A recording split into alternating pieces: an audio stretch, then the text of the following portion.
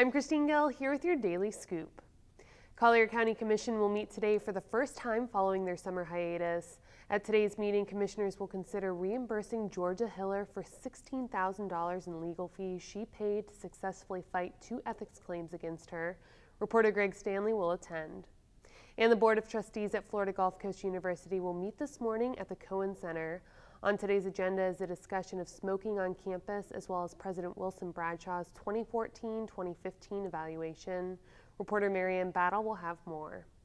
Plus, a Fort Myers-based company with five gyms in Lee County has opened its newest location in San Carlos Park. Around the Clock Fitness boasts 40,000 square feet of space for adults and kids classes. Reporter Ryan Mills will have the details. That's all for today. Check NaplesNews.com for these stories and more.